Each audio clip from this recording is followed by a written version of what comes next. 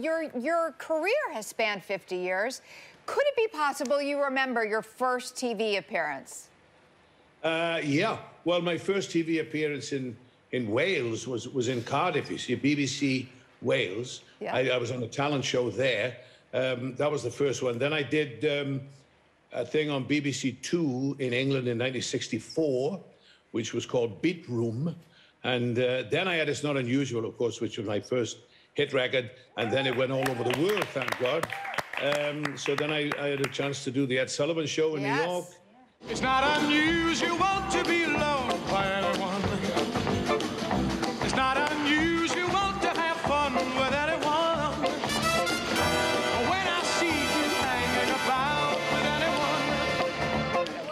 mean, that is. Well, uh, it, look it looks that. like it could have been yesterday, Sir Tom Jones. Oh, well, yeah, my, my hair was darker then. Yeah, that, that's it, though. That's it.